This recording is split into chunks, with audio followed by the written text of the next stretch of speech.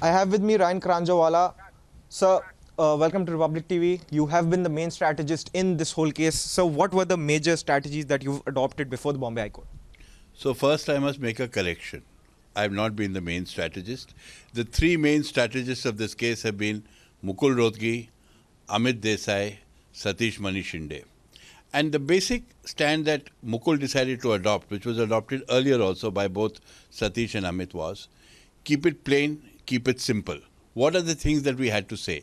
One, no possession of anything from Aryan Khan, no medical checkup, no conspiracy. Why should he be in jail for 20 days? Why should he not get bail?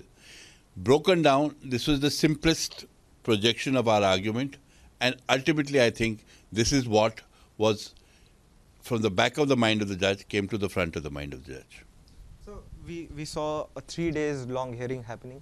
What were the hurdles? What sections were the major problem before the court? Frankly, I don't think there were any real legal impediments. Uh, there lot. They, uh, the other side obviously would argue. We these cases take a long time because sometimes you have to go through everything uh, explain things in detail to the judge and so on. Also, it didn't take three full days. On every day, we reached latish in the afternoon. So it was really a half day, a quarter day, a half day, something like that. So uh, we saw a lot stress on the Section 27. We saw a lot of stress on the Tofan Singh and the Showik Chakraborty case. How far these judgments go in? Because NDPS is a very special statute. It was designed to tackle the drug menace in the country. Could, could you throw some light on this? So Tofan Singh's is uh, Rohinton Nariman's judgment and it is a judgment which is uh, set down correct precedent on the point. That was obviously one of the clear cases that we cited. And I frankly don't feel that the sections were at all an impediment. There was no case of possession as far as Aryan was concerned. There was no medical uh, uh, evidence to show that he had consumed the drug. So, if it is found on a friend who has walked into a party with him, that can hardly be the reason for implicating him. Otherwise, every time we go in a group, supposing a barat comes in to a wedding and uh, somebody in the barat is carrying uh, banned substance, is the groom going to go to jail? No my next question is the most important one. When will be released? So hopefully we expect tomorrow, and I think that's that's what will happen. If he's very lucky, it'll be tonight, but I'm I'm not sure that his luck will hold so strong. So what would be the processes involved?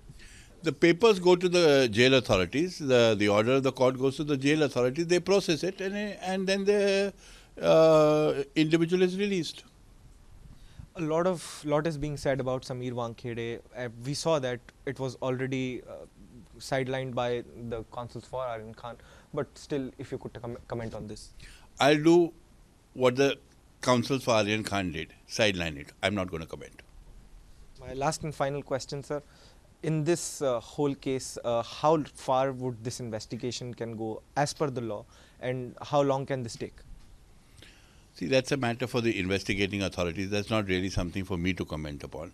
According to me, then, even on that date, even on 2nd October, and today, he's an innocent man and should walk free.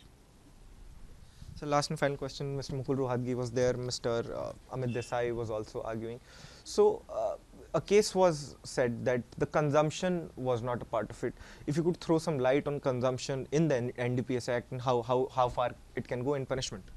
So the point is simple here. There's no case of consumption, so there's no case of punishment. I mean, he hasn't consumed at all. There's no medical evidence to show that he consumed earlier. So wh where is the question of uh, any punishment coming along?